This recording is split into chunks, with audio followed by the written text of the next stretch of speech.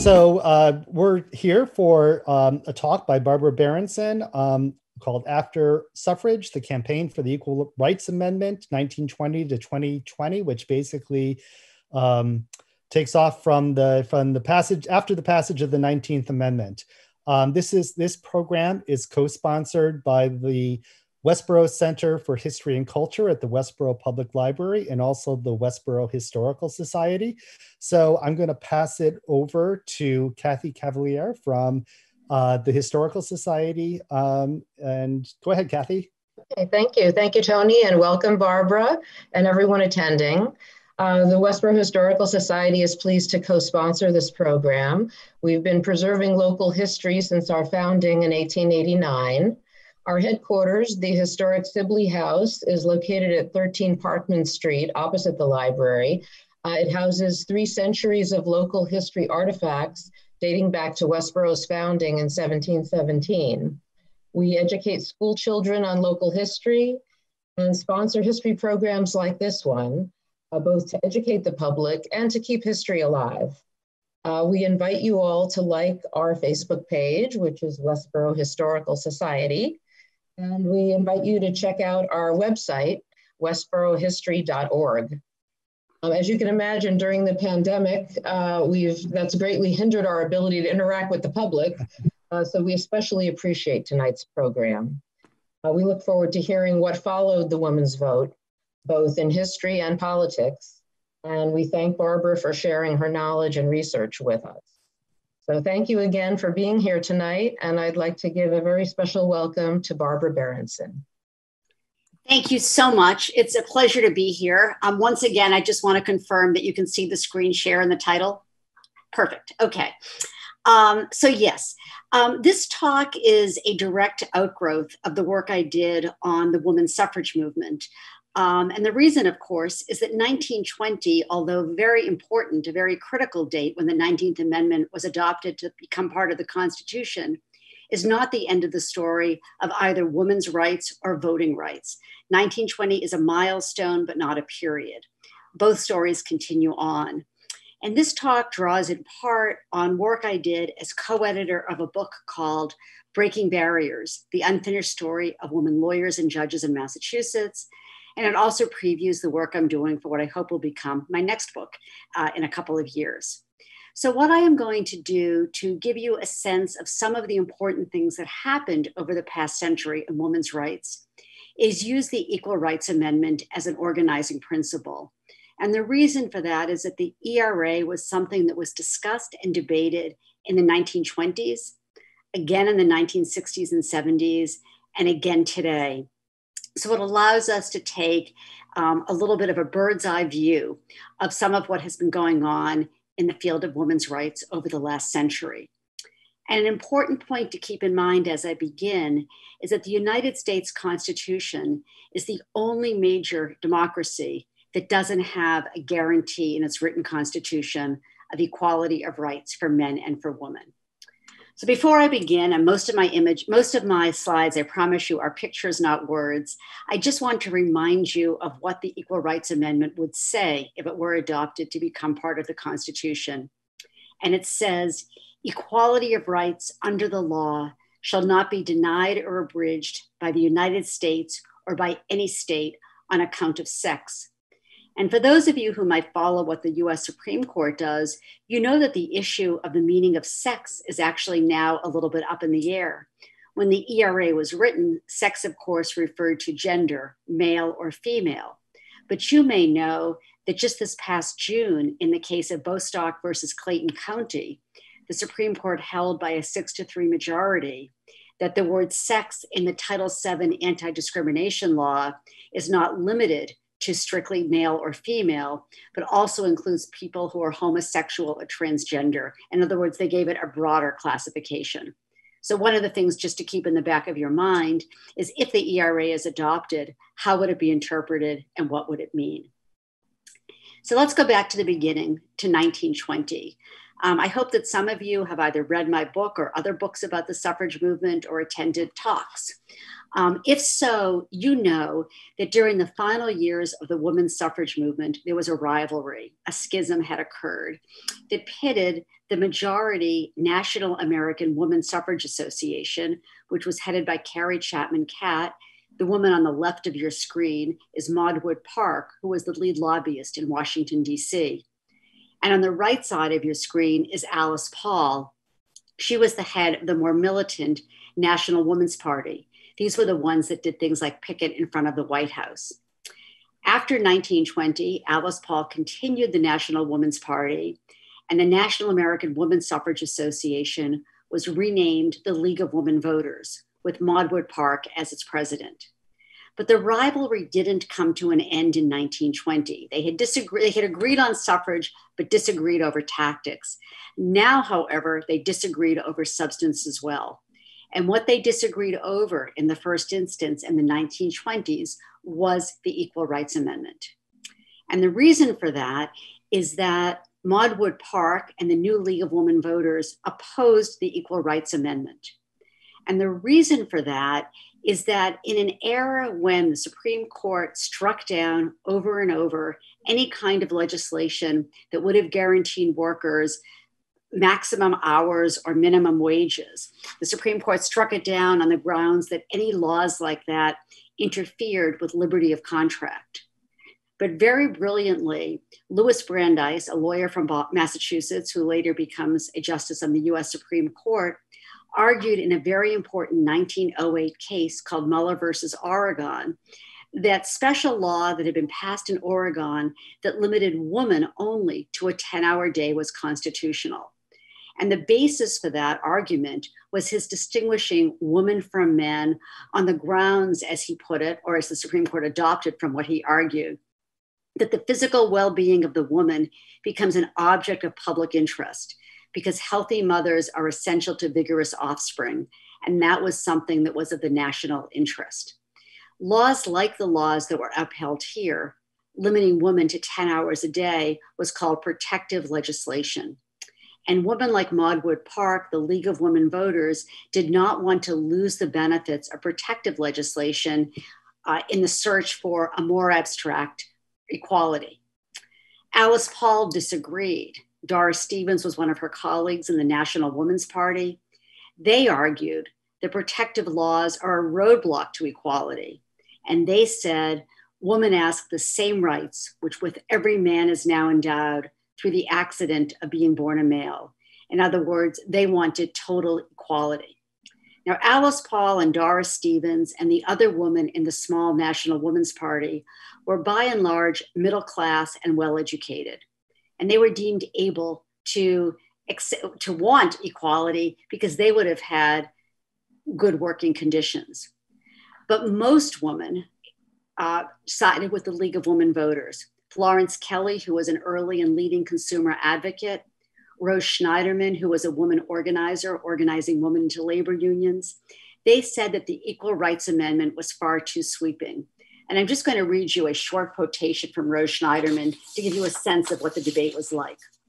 Rose Schneiderman said, I dare say that if Alice Paul and Doris Stevens had to sort dirty linen instead of sitting in a nice airy office, and if she then had to go home and get her own dinner, wash and mend clothes, and had several children to take care of as well, she would be ready to be protected by legislation the majority of women agreed with that sentiment. So the Equal Rights Amendment did not make headway during the 1920s, but it was the first time that it was debated. But other legislation that was pushed for and advocated for by the League of Women Voters did make headway. What were some of these pieces of legislation? They were legislation that would focus on aid for mothers and children and legislation that would prevent child, children from doing things like working in factories. So, for example, the League of Women Voters and women's clubs and certain other women's organizations were behind an act that was passed by Congress in 1921, just one year after women had gained suffrage, called the Sheppard Towner Act. And that act promoted the welfare of mothers and children um, the statistics, the death rate of children and of mothers giving birth were staggering in those years. And this legislation was supported by all these different organizations listed here the League of Women Voters, the Women's Trade Union League, National Consumers League, General Federation of Women's Clubs, and others. And what it did was provide for federal grants to go to the states for children's health programs and visiting nurses. Another important piece of legislation was a child labor amendment, which was proposed by Congress and sent out to the states to be ratified in 1924. Now, if you know the Constitution and you know that there's no child labor amendment, you may be wondering right now what happened. And the answer to what happened is that now we have to think about the opposition to this legislation. Just like there was always opposition to women's suffrage, there was opposition to these legislation, these legislative measures that were put forth by these women. And the opposition included a number of different entities. Um, it included organizations like the Woman Patriot Corporation, which was the continuation of the anti suffrage associations, the woman who wanted to maintain the status quo as it had been. I mean, as you can see, if you can read the masthead, uh, the Woman Patriot newspaper says, dedicated to the defense of womanhood, motherhood, the family, and the state against suffragism, feminism, and socialism. So they were also arguing that these federal grants was somehow uh, baby socialism. Other opponents included the American Medical Association, who did not want women interfering with medicine as they were practicing it. The Catholic Church, which was nervous about anything that they thought uh, might tend toward family planning. States' rights advocates, and others. So, how did the legislation get this far? How did the Sheppard Towner Act pass and how did the child labor amendment get adopted in Congress? Um, they passed because the representatives in Congress and the Senate feared the new power of women voters. Women had been enfranchised in 1920.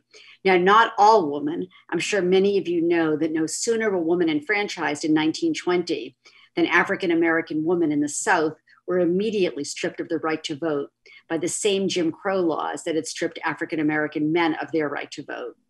Also, some women, of course, had been enfranchised before 1920, since some states had allowed women to vote before then.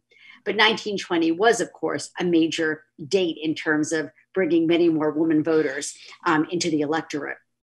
So politicians feared what they saw as a potential new women's bloc.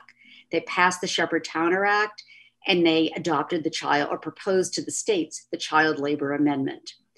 But within a few years, the Sheppard Towner Act was not renewed and the child labor amendment failed to be ratified.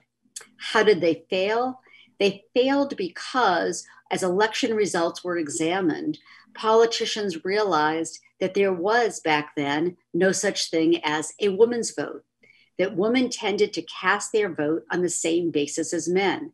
They voted based on class or region or religion, whatever the local issues were, but they did not seem to vote based on gender. So the much uh, heralded woman's vote uh, turned out to be something that politicians decided they didn't have to worry about. And the ability of women to advance their legislative agenda largely came to a halt by the end of the 1920s.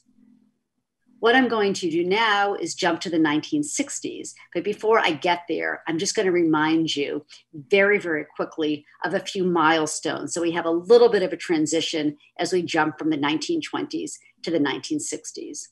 So, just a few key milestones on the way. Uh, very importantly, President Franklin Roosevelt signed the Fair Labor Standards Act in 1938. That act uh, implemented things like minimum wage and maximum hours for men as well as for women. And so that meant that there was no longer such a need for protective legislation. So, this act, the Fair Labor Standards Act, was one of the important things that would pave the way for many women activists to embrace an equal rights amendment. Um, World War II, this is Rosie the Riveter, of course um, wartime, whatever the negative consequences have been uh, in terms of women's rights, women often advance during wartime because they take care of new jobs, the, jo- the work that their husbands or fathers or sons aren't able to do while they're away fighting. Um, so World War II had brought many more women into the workforce, given many more women all sorts of new skills. The birth control pill. By 1960, many women could begin to finally control their own reproduction and the civil rights movement. This is, of course, a picture of Rosa Parks uh, when she was arrested. The civil rights movement really gets underway in the 1950s, takes off in the 1960s. And that's very important for the women's rights because if you've been to other talks of mine or read about the suffrage movement, you know, for example, that the whole women's suffrage movement grew out of the abolitionist movement. When there are other civil rights movement that women tend to get involved with, that tends to wake women up to the lack of their own rights. So when Black women and white women joined in the civil rights movement, that spurred on not only their participation in the civil rights movement, but also a new and separate women's movement. In 1960, when Kennedy was elected president, he appointed for the first time ever a commission on the status of woman to look at various discriminatory laws against women and to examine the status of women in the United States. And one thing that came, uh, another person working on that committee, along with Eleanor Roosevelt, who was key, is a woman named Pauli Murray, uh, a lawyer and also a minister. And Pauli Murray coined a term that you might be familiar with called Jane Crow, in which she argued that just as Jim Crow laws uh, imposed segregation and set forth efforts toward equality of African Americans, that Jane Crow law laws operated in the same way against women. In 1963, one of the achievements of President Kennedy's Commission on the Status of Women was the passage of the Equal Pay Act. This is the first legislation ever passed in this country uh, on behalf of equality for women. Now, it's a limited law because what it prescribed was equal pay for equal work. And equal work didn't mean analogous work or similar work, it meant the exact same work. So it only protected women who were doing the exact same jobs as men. It didn't protect, for example, the differentials between nurses who were largely female and doctors who were largely male, and so forth. But nonetheless, it was a very significant piece of legislation. Also in 1963, Betty Friedan published her famous book, The Feminine Mystique, in which she discussed the problem that has no name, as she called it. The problem, she was focused on middle class educated women. And she talked about these middle class educated women who had become slaves, as she put it, to their homes, their appliances, their husbands, and their children. And she argued that women wanted and women needed more. And this book became a runaway bestseller and influenced many people uh, to become involved in the women's movement. In 1964, soon after the death of President Kennedy, Lyndon Johnson, as president, was able to effectuate the passage of a landmark piece of legislation that we all call Title VII, Title VII of the Civil Rights Act of 1964 and that prohibits discrimination by covered employers, which basically means employers with more than 15 employees, on the basis of race, color, religion, national origin, and also on the basis of sex. So, the first law to really prevent gender discrimination. And a new organization, government agency, the Equal Employment Opportunity Commission, was established to handle complaints. But the Equal Employment Opportunity Commission had the commissioners on it basically ignored sex discrimination complaints that were brought to their attention and focused only on race ones. And the frustration with the failure of the EEOC to respond to complaints under Title VII was one of the precipitating factors for a pivotal meeting that took place in 1966 when Pauli Murray and Betty Friedan and other leading women activists came together and formed a brand new organization called the National Organization for Women. And after forming the National Organization for Women, they wrote a statement of its purpose and they called directly for equal partnership of the sexes. and they said, We reject the current assumptions that a man must carry the sole burden of supporting himself, his wife, and his family, and that a woman is automatically entitled to lifelong support by a man upon marriage. And they also rejected that marriage, home, and family are primarily a woman's world and responsibility. Now, also wrote a Bill of Rights. And the Bill of Rights led off with a claim for an equal rights constitutional amendment. So, this is the moment when the ERA from the 1920s is fully revived. It had never fully died because Alice Paul, who lives all the way to 1977, every year would travel to Capitol Hill and seek to int- interest members of Congress in putting forth the Equal Rights Amendment, but it never went anywhere. But now, this brand new active organization now was behind an Equal Rights Amendment.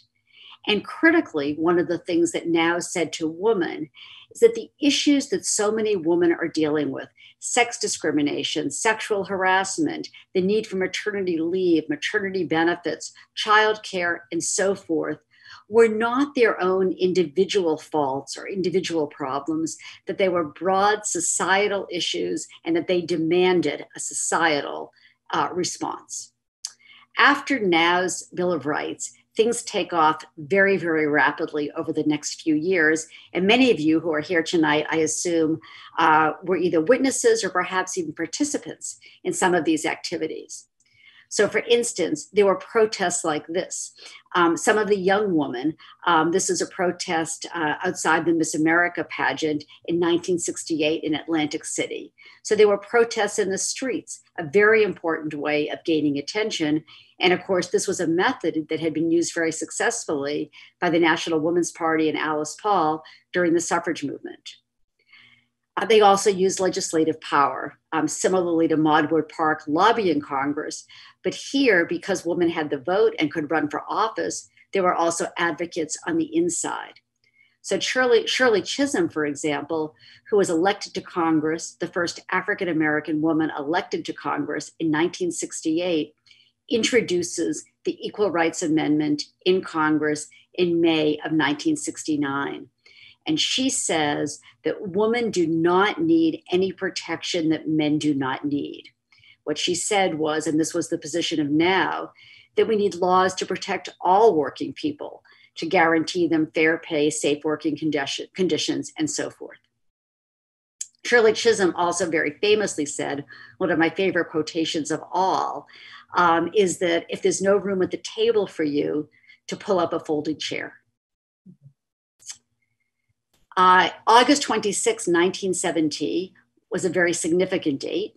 It was the 50th anniversary of the ratification of the 19th Amendment, the Women's Suffrage Amendment.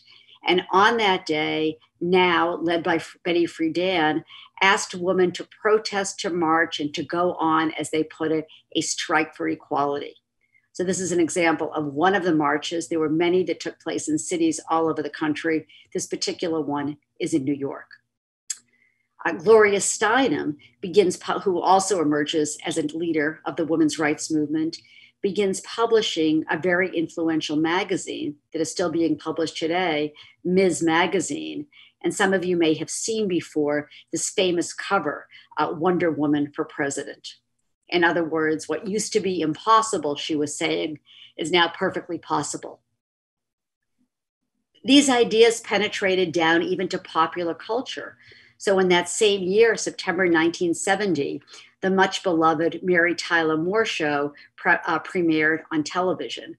Now, if you watch reruns of Mary Tyler Moore, you will see how dated and old fashioned uh, and gender biased it is. But in that era, 50 years ago, in September 1970, it was revolutionary because Mary Richards, the character played by Mary Tyler Moore, lived on her own in an apartment in the Twin Cities and worked at a job. She was not taken care of by either her father or a husband or boyfriend. In 1972, Martha Griffiths, a congresswoman from Michigan, shepherded the ERA through Congress. And if you look at these margins, I mean, it's really staggering to realize that now had only been formed half a dozen years earlier. And that in 1972, by overwhelming majorities, the House and Senate approved of the Equal Rights Amendment to send to the states. In the House, the vote was 354 to 23, in the Senate, 84 to 8. I mean, you never see margins like this, or virtually never nowadays. And it shows how uncontroversial a simple statement of basic equality in the Constitution for men and women had become. Um, however, opponents of the Equal Rights Amendment in Congress, and there were those ones who did oppose it, uh, insisted that there be a seven year deadline for ratification in the enacting statute. And that becomes very significant. And it's also true that most amendments historically have not had deadlines. They just sort of are out there until they're either ratified by three quarters of the states or not. And I should back up and tell you that the rules for getting a constitutional amendment adopted are that you need two thirds of the approval of the House and of the Senate and then you need ratification by the legislatures of three quarters of the states. So once the House and Senate had approved this, the Equal Rights Amendment, it now had to be ratified or agreed to accepted by three quarters or 38 states. In 1972, that first year, 22 states ratified the Equal Rights Amendment. It got off to a splendid and very rapid start. Um, this was also, unlike the suffrage movement, a movement that, to use modern terms, we would call intersectional. The suffrage movement was about gender only. Suffragists generally did not want to talk about race, for example.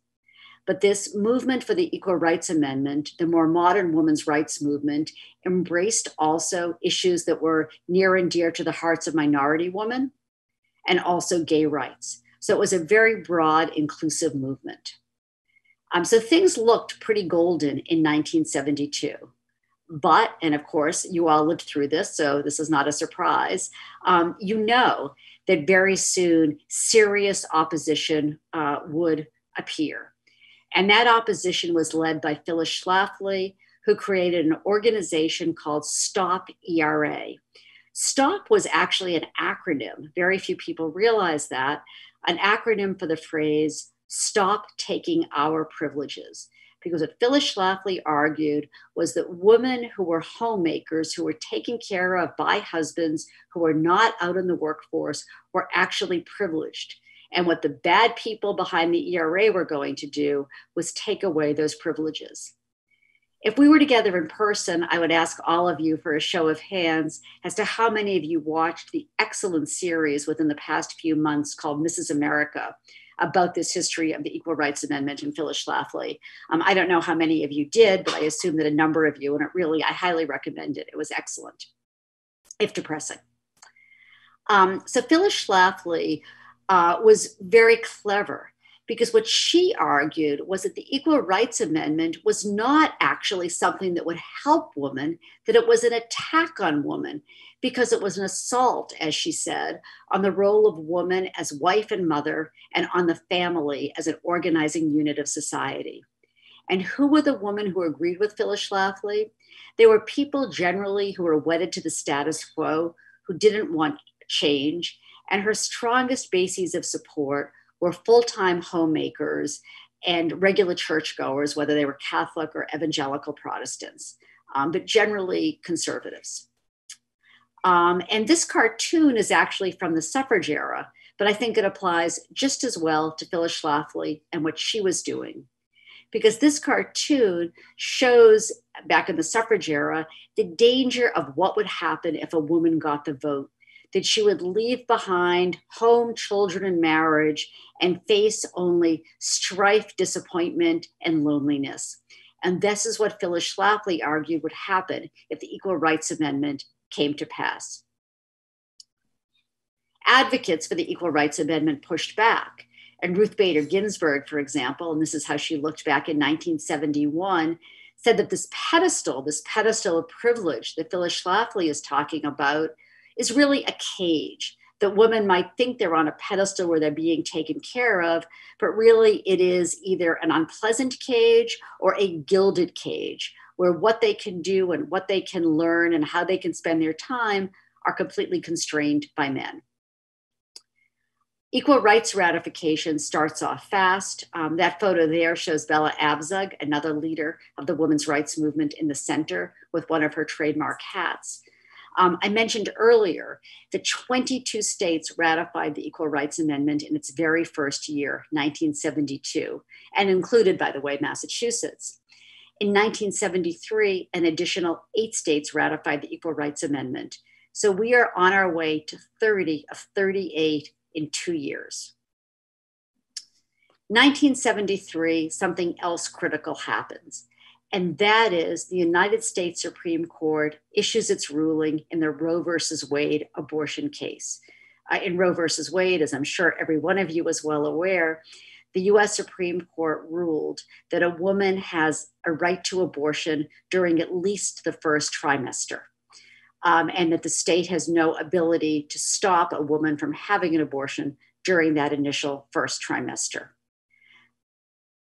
There was what was called a joining of issues.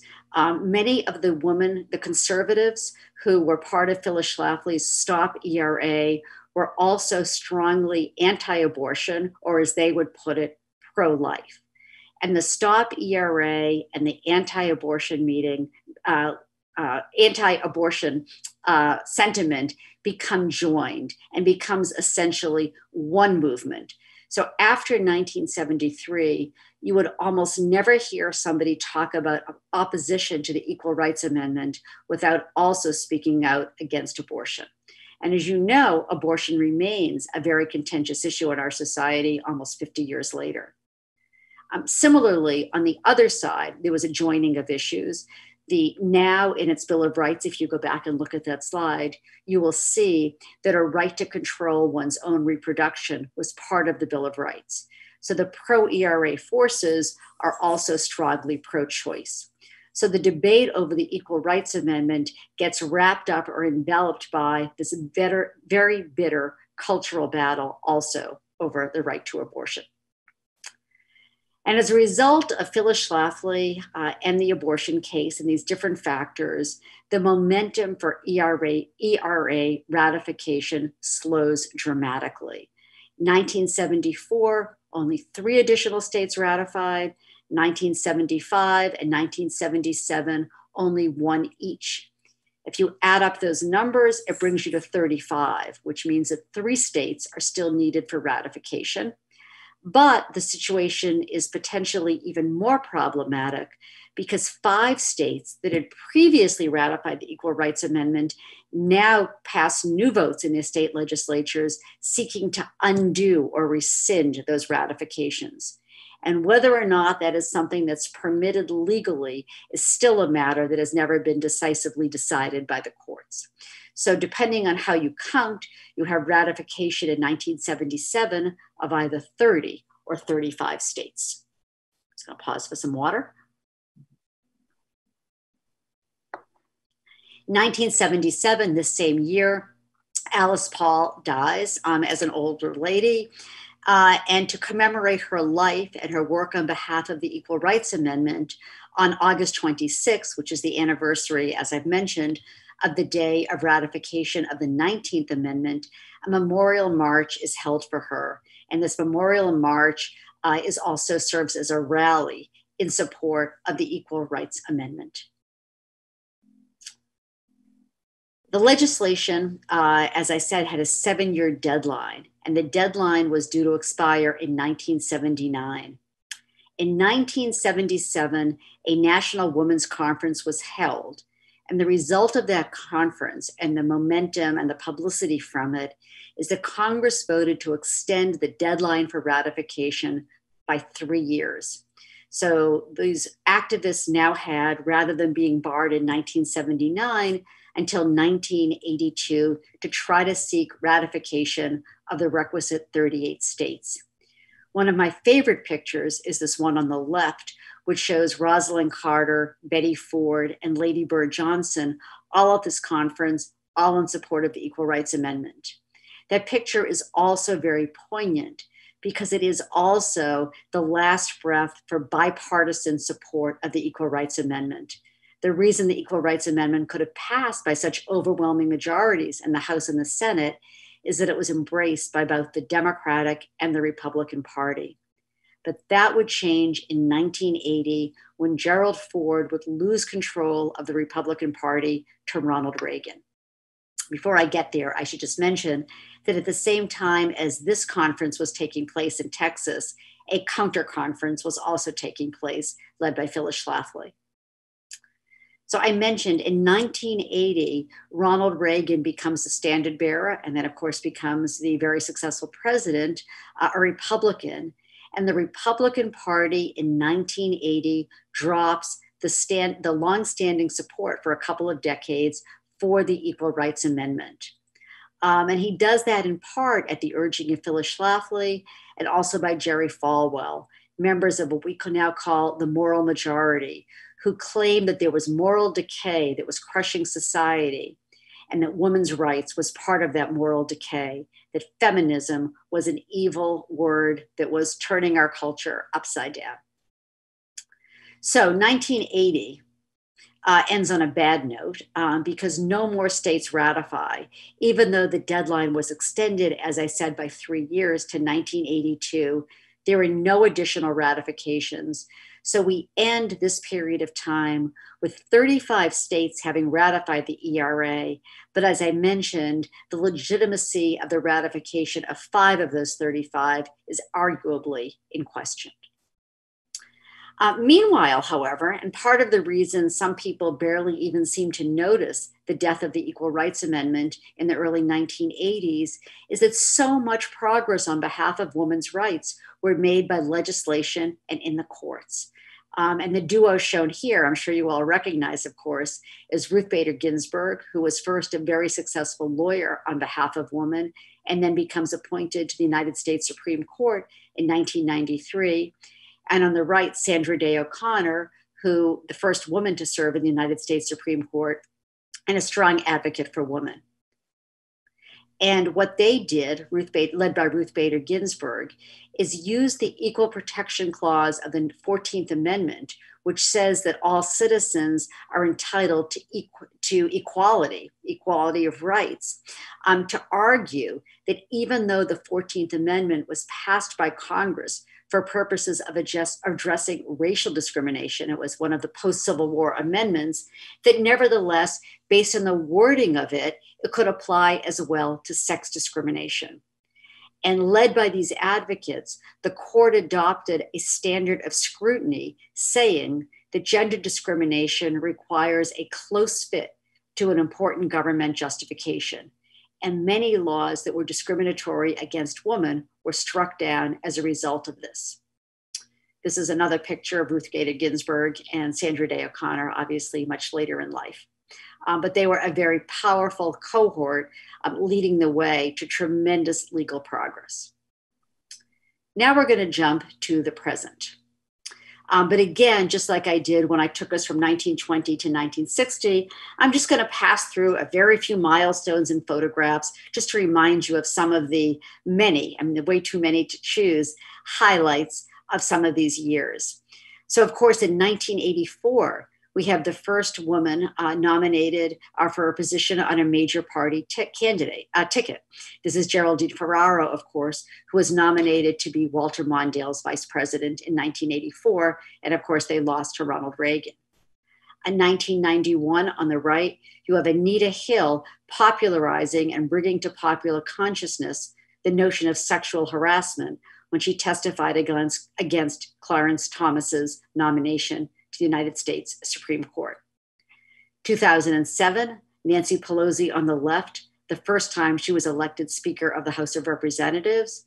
2016, of course, Hillary Clinton, the first woman nominated uh, by a party to be its presidential candidate. Um, and here, of course, we have the Women's March from the weekend of Donald Trump's inauguration. We also, of course, have the Me Too movement over the last several years. And this is a cohort of new congresswomen and senators wearing so called suffrage white at the State of the Union address just a couple of years ago.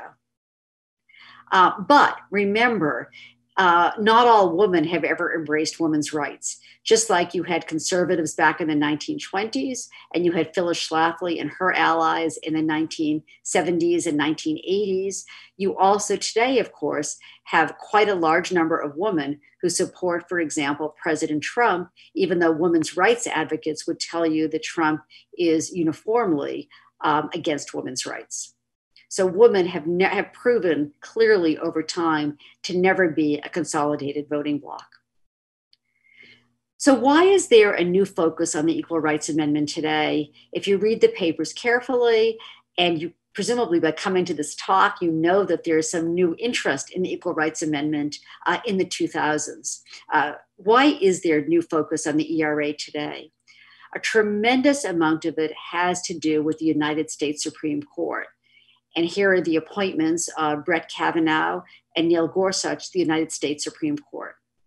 Because the United States Supreme Court now clearly has a five to four strong conservative majority. And many people are realizing that some of the rights they had taken for granted, this expectation that the court was going to continue to be a force uh, on behalf of women's rights, is not at all necessarily the case. And then, of course, there's grave concern about the health and status of Ruth Bader Ginsburg. Um, this picture here, some of you may recognize from Saturday Night Live a couple of years ago, uh, in which the only item on Ruth Bader Ginsburg calendar, according to Saturday Night Live, uh, was not to die. Um, but so this notion that whatever victories have been obtained by women under the 14th Amendment, under past court cases, are vulnerable because this new court may disagree. And as a result, there's been a, new momentum to get the Equal Rights Amendment adopted and added to the Constitution over the last few years. Um, it's been given a name, the 38 state strategy, which makes perfect sense since, of course, 38 states, as you know, are needed to ratify. And Carolyn Maloney, a congresswoman from New York, wrote to the archivist. The archivist is the person whose job it is essentially to add new, con- new amendments to the Constitution if they're ratified. That's one of his jobs. And Maloney wrote to the archivist in 2012 and basically said, gee, if we continue to ratify the ERA and get to 38, would you add it to the Constitution? And he basically wrote back and said, you know, I don't know, but probably, or that might make sense. I can't remember his exact words, but certainly left the door open for that possibility, despite the fact that there had been this deadline of 1982. Because the argument was that the deadline, the 1982 requirement of ratification, first 1979 and then 1982, were not in the amendment themselves. They were just in the enabling statute set forth by Congress. And so the argument was either that it could be changed by Congress, or maybe it wasn't even valid in the first place, since that's not part of the amendment process under the United States Constitution. So ERA advocates went on a campaign to seek to try to get ratification by three additional states. And amazingly, they have done so. Nevada ratified the ERA in 2017, Illinois in 2018, and Virginia just this year, 2020. Uh, in I believe January. It seems because of the pandemic, things in January or February now seem like 10 years ago. But it was just this year in 2020 that the 38th state ratified. Um, so, what has happened and where are we today as we sit here on September 15, 2020? Well, one more piece of background I need to give you is that one of the arguments that Phyllis Schlafly and naysayers to the ERA have always made is that if the ERA were passed, that women could be drafted if men were drafted in wartime. And I'm sure you all know that currently, under our selective service registration, men, when they turn 18, have to register, even though we only have a volunteer military. And in this past March, the National Commission on Military, National, and Public Service issued its recommendation following a long period of study. And the recommendation, which I suspect will soon be implemented, is that women at age 18 would also have to register. So that basically did away with perhaps the strongest argument of naysayers to the ERA. So, where are we today? Where we are is that after the 38th state ratified, after Virginia, ERA advocates wrote to the archivist and said, Here's the 38th state, please add the ERA to the Constitution. Before he had a chance to reply, President Trump's lawyer told the archivist, no, you cannot do that because the ERA had expired because of the 1982 deadline. In response to that, two different things have happened. There has been action in Congress. The House passed a resolution to remove the deadline because obviously they say that if Congress could impose a deadline in a piece of legislation, now we can remove it. It was removed this past February, but under the Republican controlled Senate, there has not been any action. Um, so that's where that stands. And then the other front of activity has been in the courts. And two lawsuits have been brought one here in Massachusetts and one in the District of Columbia, arguing that a court should tell the archivist to add the Equal Rights Amendment to the Constitution. The case brought here in Massachusetts was actually dismissed a few weeks ago, or maybe a month ago, on the grounds that the advocates in that case, which were some women's rights organizations, did not have what's called legal standing, grounds to be a party in a case over the legitimacy of a constitutional amendment. In the District of Columbia case, however, the plaintiffs are the states that have now ratified Virginia, Illinois, Nevada. Um, and the Trump administration has filed a motion to dismiss, arguing that this is not an issue that belongs before the courts, that only Congress can decide the process and legitimacy of constitutional amendments. Um, the case has not yet been decided, but whatever the outcome is, you can be sure that it will be appealed and may well end up before the United States Supreme Court, where, as I mentioned, it's hard to predict outcomes. This certainly is a strong five to four conservative majority, but that doesn't necessarily mean that you can predict the outcome of any particular case. Um, and then, of course, we have a very consequential election just around the corner in which both the presidency and the Senate control are up for grabs potentially. Um, and that, of course, could affect what happens. So, that is a very quick overview um, of the Equal Rights Amendment, uh, both past and present, using, as I said at the outset, it really as an organizing principle um, to shed some light on some of the many, many activities over the last century. What I'm going to do now is stop sharing my screen so I can see all of you. Um, and I would love to open it up for questions and also comments. And I will tell you, I love comments as well because at virtually every one of these talks I've given, I have encountered at least one person and sometimes more who themselves have been involved in efforts on behalf of or against the Equal Rights Amendment or their mothers or family members and so forth. So I'm every bit as interested in comments as questions and i don't know whether people will how you want to feel how you want questions to be asked if you're using a chat room or if people should just raise their hands or speak out but i will leave it to you to uh, let me know. And uh, i would love to hear from as many of you as we have time for. And thank you. Thank you.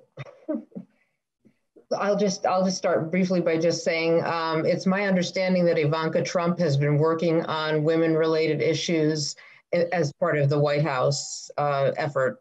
Do, are you, do you have any information about, you know, has what she's proposing? I think child care legislation or, you know, other work related things. Are, are you familiar with any of that or? Well, I have to say my, my, you know, the tr- Trump administration and women's rights um, seem to me inconsistent principles is about all I would have to say on that matter. Um, so it's not certainly not something that I have given a lot of attention to. Um, and certainly, the Trump led Republican Party has no interest in the Equal Rights Amendment. Um, whether there are some you know, pieces of legislation that some individual um, may you know, support in an effort to try to convince women that the Republican Party stands for them. You know, that I'm sure that's something that's happening. Um, you had talked about the um, the five states that tried to rescind um, that. Is there any precedent? Has has any other states in uh, any other kind of amendment process tried to rescind their, um, you know, their? That that's a great question. So the answer is that the courts very much want to stay away from this issue. Um, it's really one of the relatively few clear cut issues under the Constitution that's never been decisively considered. The mm-hmm. only time it's really come up was after the Civil War, when some states ratified the 14th Amendment, uh, seeking to become readmitted to the Union, and then immediately sought to undo that ratification, and it was not allowed. Um, after the 19th Amendment, there were a couple of states, including Tennessee, which was the last state to ratify the 19th Amendment, that also tried to undo ratification, and it was not allowed then either. So, to the extent there is precedent, it suggests that you cannot rescind, but it's really not something in modern times that's been addressed by the court. My bet, though, personally, and, and as a lawyer, um, is that if the court had to address that issue, I think they would stay away from deciding rescission pure and simple. And what they would probably do instead is raise a doctrine called the contemporaneousness doctrine, which is the argument that ratifications have to occur within some ballpark contemporary uh, period of proposal um, so that the states that ratify in year one are ratifying something similar, at least they think, to what states that might ratify in year 10 are ratifying. But if year 10 is instead year 50, you could argue that times have changed so much that that might not be the case. So that would probably be how the court might approach it. Um, what they would do, I don't know. My bet is, again, you know, it's like reading tea leaves, but may well be that they would decide that they shouldn't get involved at all, that the issue, this belongs to Congress, rather than necessarily take on head on the issue of rescission. But we'll see. Hmm. I'm sure many of you must have questions or comments. And remember, there's no such thing as a bad question. Chris yes. unmute, unmute, your, unmute yourself, Chris. You need Chris, to unmute. Muted. That's right. If you go down to the bottom, there's uh, there should be a, a ribbon that goes across, and there's a it says mute, um, and you can unmute yourself. Or Alt and A. There you go. There you go I always uh, tend to keep myself muted to everybody's delight. um, I am one of the women that came of age during the 60s. And my mother, uh, who was uh, college educated, said the only careers open to women at her time were a teacher, and you couldn't be married if you were a teacher at least that's what she said. Once you got married, you couldn't teach, and that people were secretaries or nurses. But basically, you didn't have other careers to aspire to. So um, when I was in school in the 60s, it was very exciting to sort of have the world open up that women could do different careers that men had pursued and be as educated as they. And uh, we joined lots of marches as far as um, the ERA and follow Gloria Steinem, and it was inspiring. And uh, we were really angry at the women who were opposed to women's rights. We couldn't understand it. So um, perhaps some of that has uh, continued, but having uh, young women um, now, my daughter and granddaughter involved in school, it does seem that they haven't got many restrictions as far as careers go and aspirations to uh, fulfill their careers. I have a question for you, if you don't mind. when the ERA failed, in the early 1980s. Do you remember how you felt? Did you feel it was devastating, or did you feel like it was a disappointment? But at least with the court, we're okay. How did you How did you react? Um, devastated because we had felt that this was um, sort of a a no brainer that women deserve the equal rights, and it made perfect sense. And we had been working for that for years and could not understand women who rejected it or courts and men who rejected it. So we were we were angry. That's why we were marching all the time. Yes. Thank you very much. Other questions, comments? And it certainly can be broader than what, what I had a chance to cover in, you know, 45 or 50 minutes. Does anybody else have anything they'd like to, to say or ask about?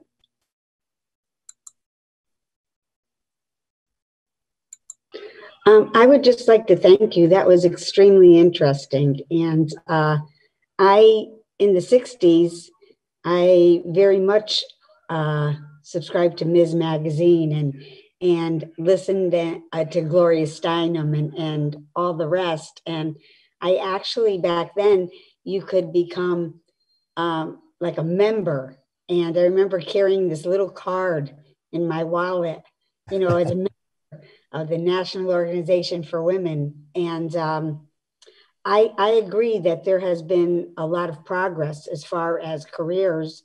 But I remember one particular um, article I saw, and it, this was in the, uh, I guess, the early 70s, and it was a woman uh, carrying uh, a briefcase, dressed in a suit, carrying a briefcase, and um, you know there was a, a, child next to her and a dog you know and it said the caption read somewhat like women can have it all. So we could have a career and we can have a family life if we if we like.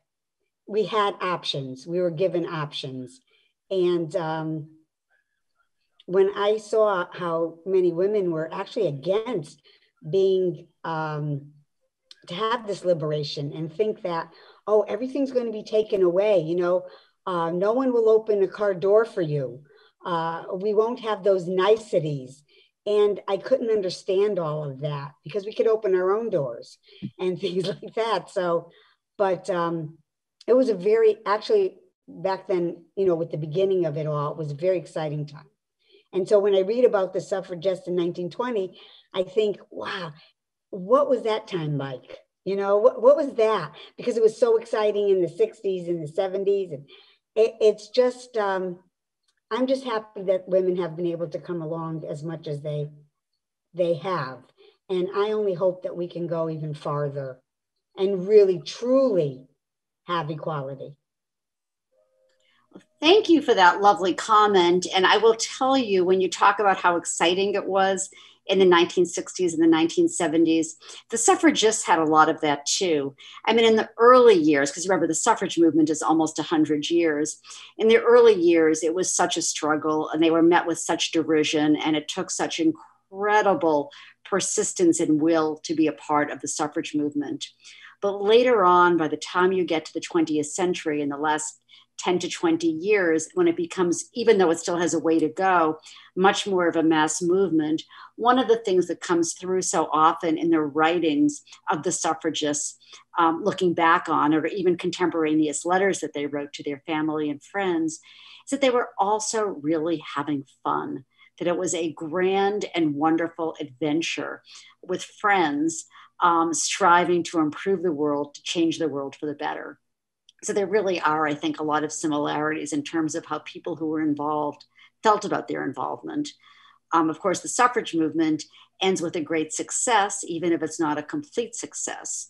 Um, the women's movement in the 60s and 70s ends with many successes, but without the overwhelming, um, overarching success of the Equal Rights Amendment.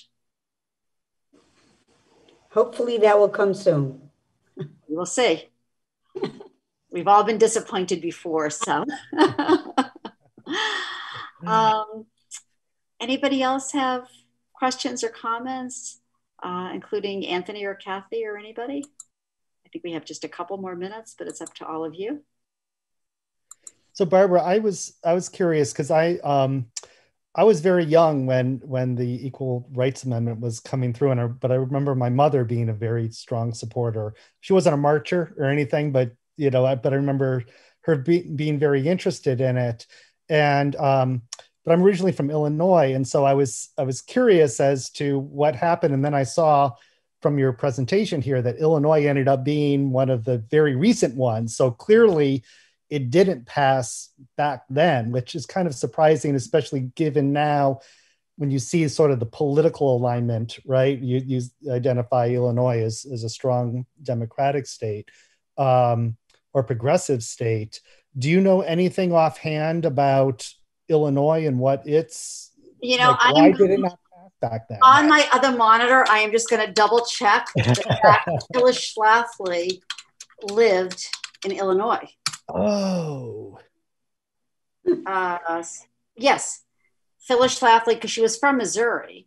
Um, and then they moved to Alton, Illinois. So, oh, okay. and if you watch the Mrs. America series, Illinois becomes one of these showdown places. Oh, I'm gonna have to watch that. It's been on my list, and I think I mean, you know, I'm not really on radar screen, and so maybe I'll bring it back, and we'll. Uh, I'm not much of a, a, TV watcher. It's nine parts, but honestly, you know, and, and and it's.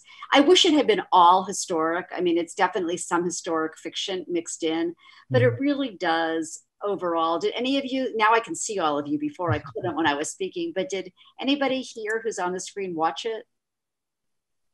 No. I mean, it really does do an excellent job of giving you you know, reminding you of what happened, and in particular, of really giving you some insights into Phyllis Schlafly.